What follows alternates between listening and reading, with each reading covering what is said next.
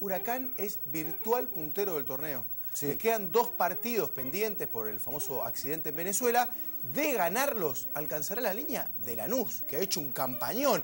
Es cierto, tiene que jugar los dos partidos y ganarlos. Pero se ha aprendido en la pelea, increíblemente, cuando al principio lo veíamos sin punto y, y abajo de todo, claro, porque había jugado muy poco. Bueno, vamos a ver al Globo enfrente, Temperley. Hay algunas polémicas con algún protagonista y hay otro partido, esto yo lo dije hace varios días atrás, Palermesco. Ah, Palermesco de Guanchope Ávila, el nuevo optimista del gol, hasta hizo una de Palermo, un gol con las dos piernas. Vamos a ver todo, lo cuenta Fabio Tocman. ¿Estuvo Mariano Luis Larre? Mariano Luis Larre.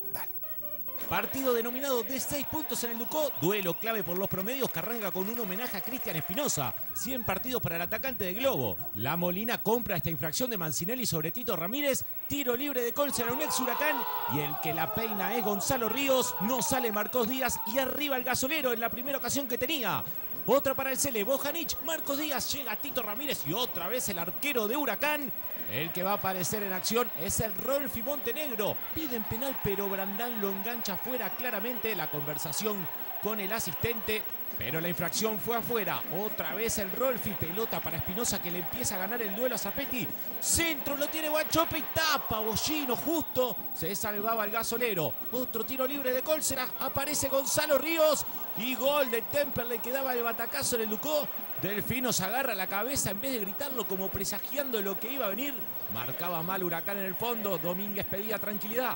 Reacciona el globo de la mano de Espinosa. Travesaño. Casi el descuento en el rebote. No podía Guanchope. Hasta que va a llegar esto. Mariano González lo mide a Crivelli. Remata. Golazo del exjugador del Porto. Huracán descontaba y observen. El Rolfi le pide a sus compañeros que piensen. Un minuto más tarde, pelota perfecta de Bogado. Toque de primera de Espinosa. Y ahora sí, Guanchope. Y a cobrar empate de Huracán en solo tres minutos. Estaba un pasito adelantado Espinosa. Misma línea para el cordobés que facturaba su cuarto tanto en el torneo. Crivelli protesta y no devuelve la pelota porque decía que era offside. Clarito, cagón, le dice al árbitro. Punto de infracción en el partido. Infracción de Colsera sobre Bogado. Y observen la cara al ver la roja de la bolina. No lo puede creer el ex huracán. Delfino se vuelve loco en cuatro minutos. Dos goles y un expulsado. La verdad hoy me la tengo que bancar. eh, por ahí una expulsión con decir boluda que, que no duele porque bueno después cambió el resultado con 10 hombres es muy difícil. Mal expulsado Colsera, era para amarilla y enseguida llega esta infracción de Rizzo sobre Brandán, pero la Molina no midió con la misma vara, fue solo amarilla. Comienza a ser protagonista Crivelli no por sus atajadas. Discute de mala forma con Montenegro, estaba muy nervioso el arquero del gasolero, se calentaba el partido en Parque Patricios. Le digo al árbitro que hay un, un ayudante, un auxiliar afuera que me está insultando todo el primer tiempo. Y lo quería hacer que venga, se lo, di- se lo dije dos veces, me dijo que jugara. Él protestaba por, un- creo que un asistente que lo estaba insultando atrás, o eso fue lo que dijo él. ¿Qué, qué- qué se discutía? Nada, eso te dijo, creo que no era eso. Pero bueno, ya está. ¿Qué- ¿Pero qué era? ¿Qué viste vos? ¿Que jugó con la gente por ahí? Sí, sí. Y no, no era necesario, no había necesidad. Porque yo soy hincha del club y, y lo que le dice a la gente es también dedicado a nosotros, porque nosotros somos los que representamos a este club. Entonces hay cosas que, que tenés que evitar. Pero en ningún momento tengo nada contra la gente de Huracán. Saben mi simpatía y es el folclore del fútbol, es así. Empezaba el duelo de la hinchada con el arquero Crivelli que parecía bailar. Al final del primer tiempo le discutían con todo a la Molina. Seis del segundo tiempo. Recupera Araujo. La tiene Bogado que levanta la cabeza y le pone una preciosa pelota a Guanchope Ávila. Lo elude a Crivelli y factura al cordobés. Fue la primera del segundo tiempo para Huracán. Y va a tener Temperley dos minutos fatídicos porque al instante va a llegar esto. Temperley quedaba muy mal parado. Aparecen tres jugadores de Huracán contra Crivelli. Centro de Espinosa y Guanchope a lo Palermo con las dos piernas. La pelota entra con suspenso. Sexto tanto en seis partidos para Guanchope que casi se mata en el festejo. ¿Vos te desequilibró la alfombra? Sí, también, tuve todo porque no veía, no veía. La Repe nos muestra que cuando parte el pase de Espinosa parece estar adelantado Ávila, que tuvo un poquitito de suerte en la definición. Los goles hay que hacerlo como, como sea, contra el que entre vale uno. Entonces, lo importante es que las situaciones se generaron y eso nos dejó tranquilos. Seguía el duelo de los hinchas de Huracán con Crivelli. Para el arquero la selección pedían y pelotazo en la cara para Guanchope que lo dejó nocao. Me comí un pelotazo bastante No fulero. te dejó ninguna marca, pero lindo bochazo. No, no, lindo, si me deja una marca que quedó peor, imagínate. Primero de los tres caños que le vamos a mostrar, en este caso de Miralles sobre Arregui. Y de esa infracción de Bollino va a llegar este tiro libre de Bogado. La pelota da en el palo. Se merecía su gol el ex Godoy Cruz que había tenido un gran partido. Ahora de Balbi sobre Chimino. Y otro de Cacu Romero Gamarra sobre Arregui de nuevo que lo tenían alquilado. Atención a esto, la baja Tito Ramírez, el que va a llegar es Cristian Canué y el palo que salva a Huracán.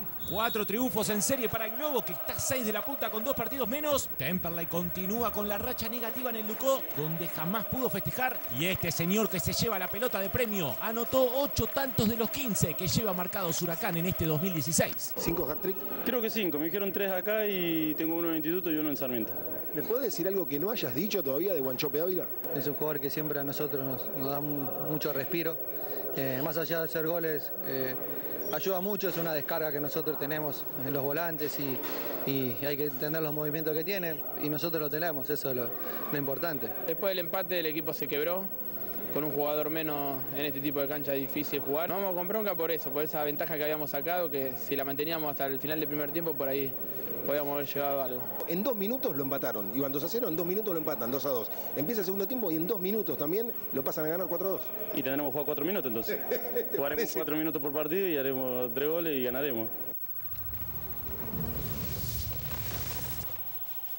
¿Cómo está Guanchope, mamita? Tremendo lo del goleador.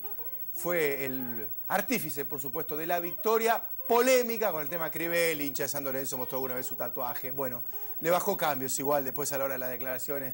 eh, cada uno tiene su opinión al respecto. ¿Cuál es el límite? ¿Hasta dónde se puede joder? ¿Hasta dónde no? El protagonista, eh, ¿qué tiene que decir y qué no? ¿Hasta dónde medirse? Bueno, hay que estar en la piel del arquero de Temperley también.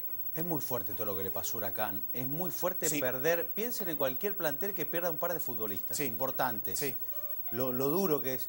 Y Huracán juega cada tres días y ha sacado resultados muy importantes, gana en el torneo.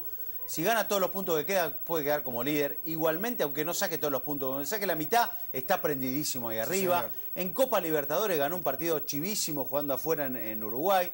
Realmente es para sacarse el sombrero otra vez ante este momento que está viviendo el Globo. ¿eh?